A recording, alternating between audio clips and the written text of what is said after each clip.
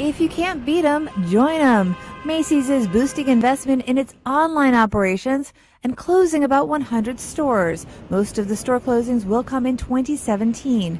The company has been under pressure from activist investor Starboard Value to monetize its huge real estate portfolio.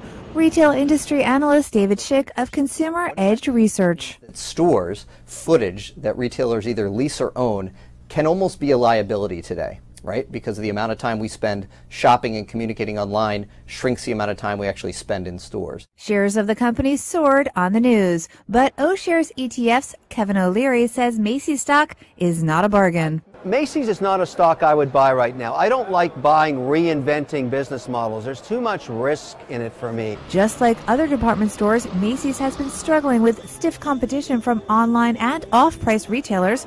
It's also facing shifting spending patterns, with shoppers shelling out on big ticket items like electronics and cars rather than clothes.